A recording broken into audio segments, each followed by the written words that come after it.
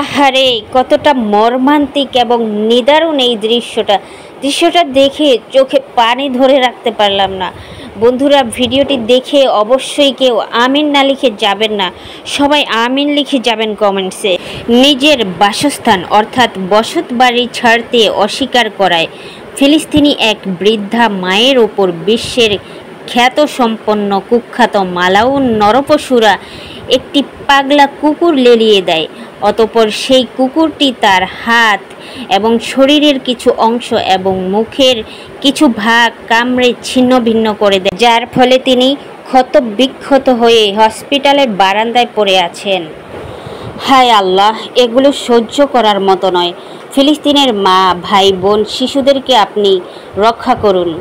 এই ভয়ঙ্কর দাজ্জালদের হাত থেকে আপনি তাদেরকে আপনার নিজ রহমতের ছায়াতলে আশ্রয় দিন। আমিন। মুসলিম হয়েও আমরা এগুলো সহ্য করে যাচ্ছি। আল্লাহ, আপনিই তাদেরকে রক্ষা করুন। ভিডিওটি অবশ্যই শেয়ার করে দিবেন আর পেজটি সবাই ফলো করে যাবেন ইনশাআল্লাহ। তো সবাই সুস্থ থাকবেন, ভালো থাকবেন। আল্লাহ হাফেজ।